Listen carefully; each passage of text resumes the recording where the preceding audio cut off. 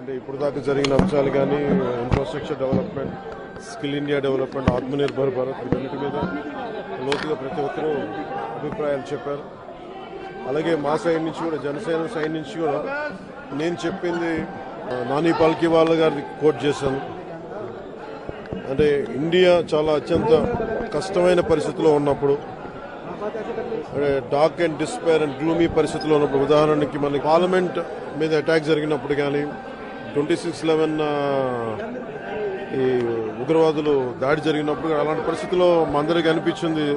సగటు మనుషుల నాకు కూడా అనిపించింది. భారతదేశానికి చాలా బలమైన నాయకత్వం కావాలని. ఆ సమయానికి నరేంద్ర మోదీ గారు కనిపించడం మేమందరం ఆయన చుట్టూ ర్యాలీ అవ్వటం.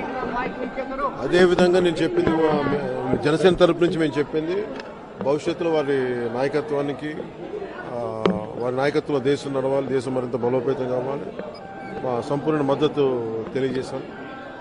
సరే రాష్ట్రంలో పొత్తుల గురించి ఏమైనా చర్చ వచ్చిందా? సీట్ల సర్దుబాటు. అది సీట్ల సర్దుబాటు పొత్తులు ఈ అంశ ఈ పర్టికులర్ చర్చ జరగలేదు.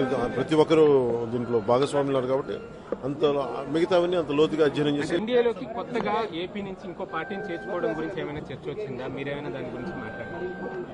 దాని మీద ఇది మా జనరల్ మిషన్ స్టేట్మెంట్ మీద ఉంది తప్ప ఇంకా అంత లోతుగా ఇంకెళ్ళలేదు ఎన్డీఏని ఇంకా ఎక్స్పాండ్ చేసే ఛాన్స్ ఉందా? సార్ ఇప్పటికి ముప్పై ఎనిమిది పార్టీలని ఇంకా కొత్తగా పార్టీలు చేరుతాయి? అందులో ఏపీ నుంచి ఏమైనా కొత్తగా చేరే ఛాన్సెస్? పాలిటిక్స్లో ఏదైనా జరగచ్చు.